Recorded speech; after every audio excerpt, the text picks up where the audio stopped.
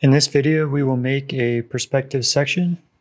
Uh, similar to these examples, we're going to make it um, very simple black and white line drawing without any color. That way we can really focus in on the line hierarchy and um, some of the other elements that go into the drawing. I think it's important to get a good understanding for how to make this very uh, clean and simple black and white drawing uh, before you hop into adding a bunch of color and trying to render it. So we'll start out with the SketchUp model. And because we're going to be taking this drawing into Illustrator as a vector drawing, opposed to Photoshop as a rasterized image, um, it's really important that we have control over how everything in our file is layered. Um, so we're going to layer it based on essentially the line hierarchy that we're going to apply in Illustrator. So we want like all of our furniture on a layer. We want um, all the trees on one layer. We want the building on one layer. And then even like down to the pattern that I have on the ground for the path. All that needs to be separated so that once we get into Illustrator, um, we have control over it.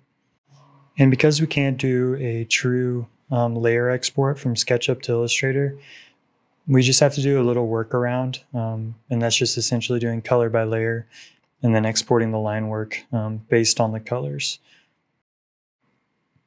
So to do this, we're um, just like um, any other time, we're going to change our style to the hidden line style.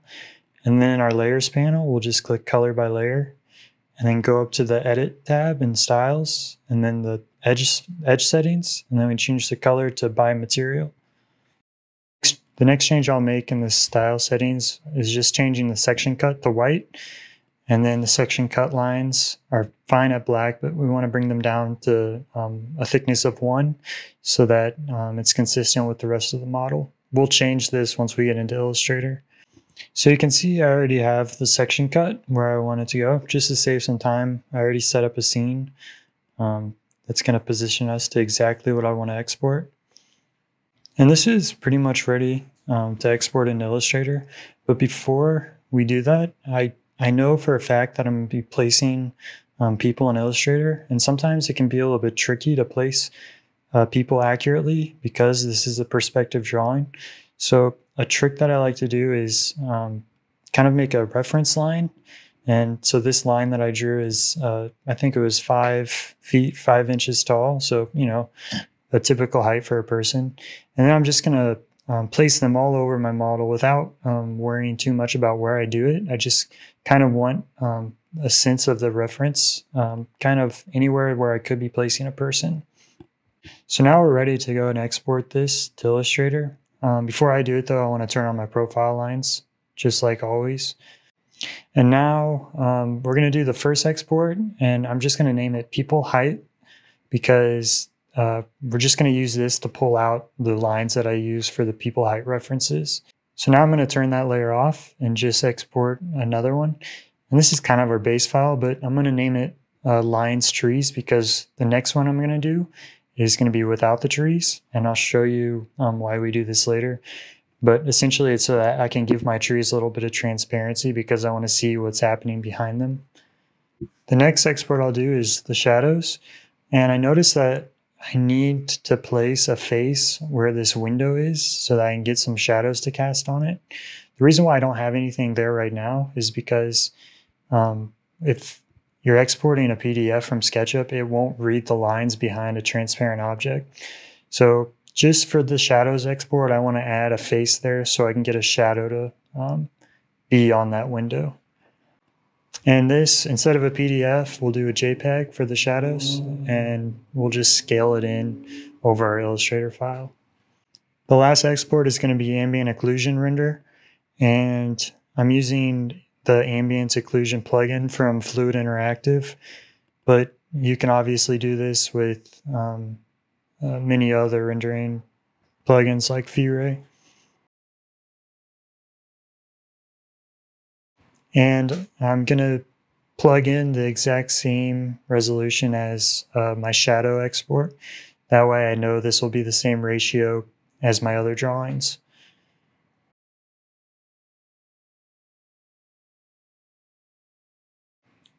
Now we can go into Illustrator and open up all the images we exported. And the first thing I'm going to do is overlay the shadow and ambient occlusion renders on top of my lines export that doesn't have trees because this is kind of going to be my base file. I don't want the trees because I'm going to add that in separately so that I have control over the opacity of them. So here you can see I'm just scaling the shadows and ambient occlusion images on top of this. And I know that it'll line up perfectly because they're the same aspect ratio. Now I'll just go into the appearance settings for each of the images and change their opacities to multiply. And then I'll actually uh, make them a little bit more transparent, uh, just temporarily. I'll come back later and uh, make it a little bit more exact to what I want it to be. Now we will separate all of our lines from SketchUp. So you can see I'm um, making new layers in Illustrator. Each of these layers are um, the exact same name of my layers in SketchUp. So like I said, this is kind of a workaround to not having a layers export from SketchUp, which is uh, sometimes annoying, but once you get the hang of it, it's actually uh, very easy to get around. So because we have the different colors, what we can do is select one of the uh, lines and then select same stroke color. And you can see I have this keybind to control E. So now I can very, very quickly go through select each um, different line color, hit Control E, and then click and drag it onto the layer um, where it belongs. And you can see as I move the lines onto their correct layers, I just hide them. That way I know what I have left and I don't get confused. So once you get all your lines separated onto the correct layers, we can go ahead and select all the lines and then change their color to black. And we'll also give them a temporary thickness typically just a, a nice and thin line weight. That way we know exactly what we're working with. And then we're going to add in the trees. So I'm going to open up the file exporter that does include the trees. So in this file, just like I did before, I'm going to select the lines from some of the trees and then select all the same color lines and move them onto their own layer so I can isolate them from the rest of my um, model. And now because these three trees here are in front of some of my uh, geometry. I want to show that they have some opacity to them. So you can see I'm, I'm making them uh, closed loops so I can use my live paint bucket tool and just quickly fill in these shapes so that I, in my master file, I can um, add opacity to them. So once we use our live paint bucket tool, we have to go to live paint, expand, and then ungroup. And now I can select only the fill by the same color, copy it, delete it, paste it in place, and now it's on its own separate layer. So now I'll copy both the fill and the tree lines, and I will paste them in place into my master file. Notice for this, I turned on paste remembers layers that way I don't have to separate these again. And I'm also using a cool trick in Illustrator because you can't make a true group. I just dragged both of these layers on top of my perspective trees layer so that now um, they kind of become a group and I can turn them on and off with just the perspective trees layer. And I moved the trees layer all the way up to the top because I know I want them I want it to be in front of um, my building geometry lines. So this is starting to look a lot better. Now I can go ahead and start managing all my line weights. And I'm going to speed this part up because this probably uh, takes the longest, especially if it's the first time you're making a drawing like this, because you really have to feel out which lines you want to be lighter, which lines should be heavier. Um, but just like any other drawing, the more times you do it, the better handle you have on um, kind of the spectrum of line height or line weights that you need to be using. And it's also you'll you'll start to develop just kind of an eye for like what this needs to look like, which is another really cool thing about working in Illustrator because it's you know it's real time feedback of what your drawing is actually going to look like opposed to if you're in AutoCAD and you don't have your line weights on. So this is also where um, the cleaner your model is, the easier it is to do this stuff. So like you can see here, this bed has a whole bunch of unnecessary lines because it was um, complicated geometry. And this could actually easily be fixed in the SketchUp model just by simplifying um, that actual bed component. But um, for me, sometimes I, I, just like to get it into Illustrator and then do uh, quick fixes like I'm doing now, even to like this uh, ceiling fan and some of these lines that are missing on the walls. The key to being efficient and cleaning up drawings in Illustrator is really understanding the the size of the image that your end product is going to be. For this, I'm I'm kind of thinking it's going to be about 11 by 17. So a lot of the detail that I'm doing or cleaning up here may not even be noticed. So you kind of have to cut yourself off at a point, um, and just understand that what you're doing may not even make a difference.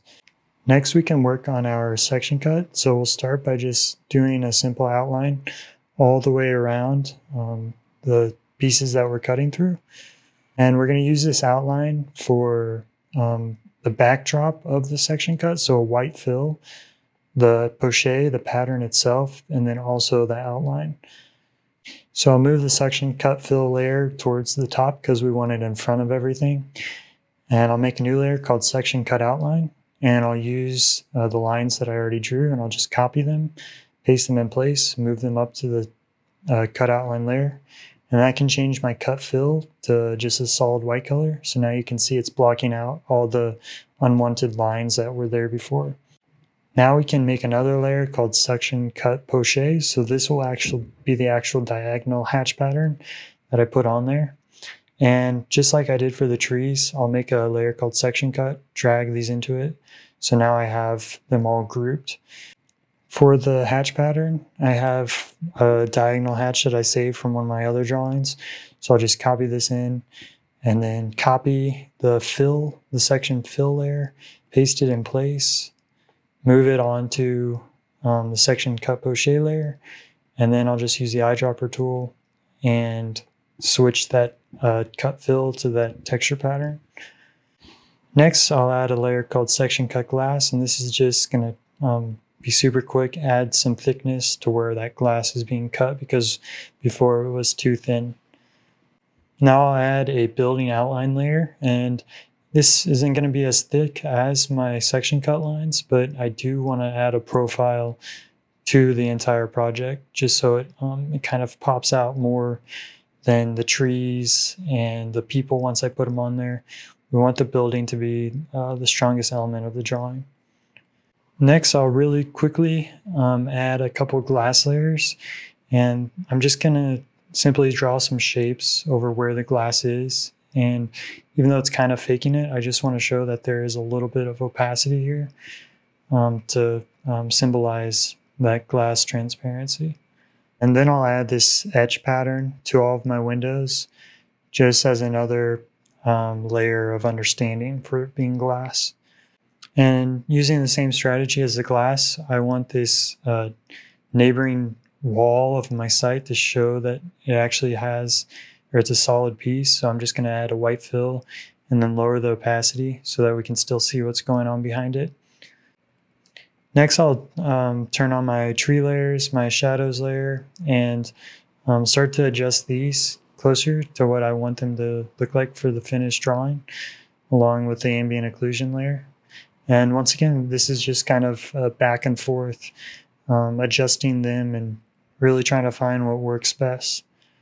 Here I notice I forgot I missed um, some of the walls that I'm cutting through, these interior partitions.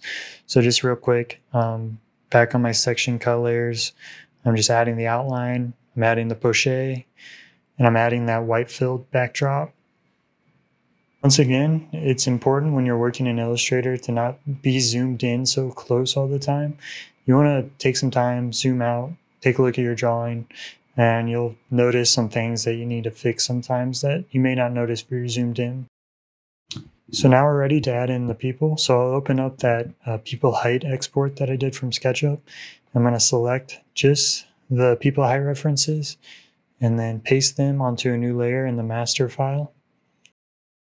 So this is simply a reference layer. We won't um, be showing this in the final, final drawing, so we don't have to worry about um, deleting any of these lines. We can just hide it whenever we export. now I'll make my people layer and I'll copy in a bunch of um, silhouette people. And now you'll realize how useful those reference lines are because you can quickly populate uh, your drawing without having to worry about um, getting the right scale to people. And you can do this for any type of drawing. It can be a, a Photoshop rendering. It can be any anytime you export a rendering from one of your 3D modeling programs, you can always place uh, these reference lines as a pass, just so just for uh, placing entourage.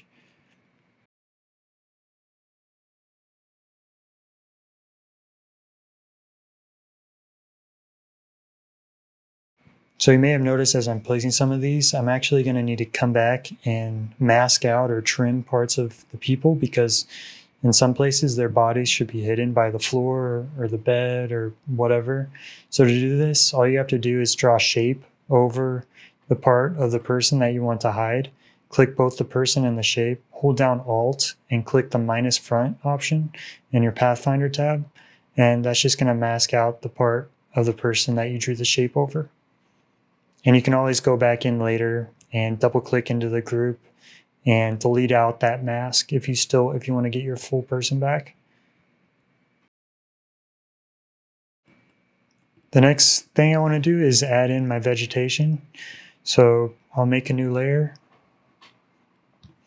and then I'll copy in some uh, outlines of a couple bushes, some grass, and just really quickly without thinking too much about it, um, populate some of these garden beds and some of the areas on my um, pathway.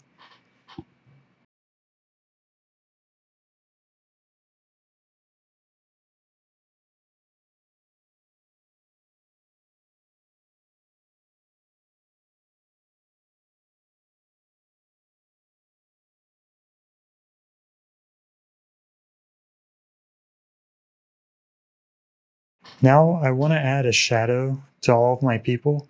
To do this, we're going to use Photoshop. And this is a really good example of how you can use Illustrator and Photoshop um, ne right next to each other. You can probably add shadows to them in Illustrator, but for me, this this way is um, much quicker and comfortable. So to do this, I just save my Illustrator file as a PDF, open it in Photoshop, um, paint a, a white background, add a new layer, and for this new layer, I'm just going to use a, a brush that kind of fades away. And I'm just going to really quickly draw in like the shadows that are going in the same direction as the shadows on my building. And as you can see, this is like super loose. I'm not spending much time on this because in the end, uh, the accuracy doesn't really matter. It'll still give that effect. So now I'll make a layer in Illustrator called People Shadows, and I'll just make sure it's right behind my People layer and then I'll literally just drag that layer that I made in Photoshop into my Illustrator file. And because I saved it as a PDF, it it's going to be the right scale and everything. So all I have to do is align it and then go to my appearance options for that uh, image and then make it on multiply and then adjust the opacity. And now I have um, those shadows for my people, which just adds, you know, uh, an extra level of depth. As a nice little finishing touch, I'll just add a couple birds to the top here. And really, um, even though this is like a, a really small example, this is the type of thing that starts to give your drawings life, right? The people, the trees, the plants, even the birds. And just like that, we have our completed perspective section drawing. I really hope this video gave you a better understanding of the workflow um, from SketchUp to Illustrator to make a drawing like this. And I hope you can put your own unique twist on these steps to make um, some really cool drawings. Thanks for watching.